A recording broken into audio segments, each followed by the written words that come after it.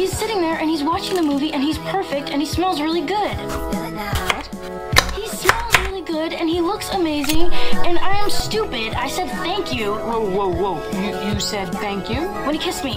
Wait, he kissed you again? What, is he just out of prison or something? No, not now. Yesterday at the store. Oh, all right. Strike the prison comment. So wait, he kissed you and you said thank you? Yes. Well, that was very polite. No, it was stupid.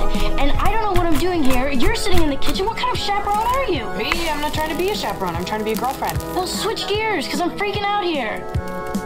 You really like him, don't you?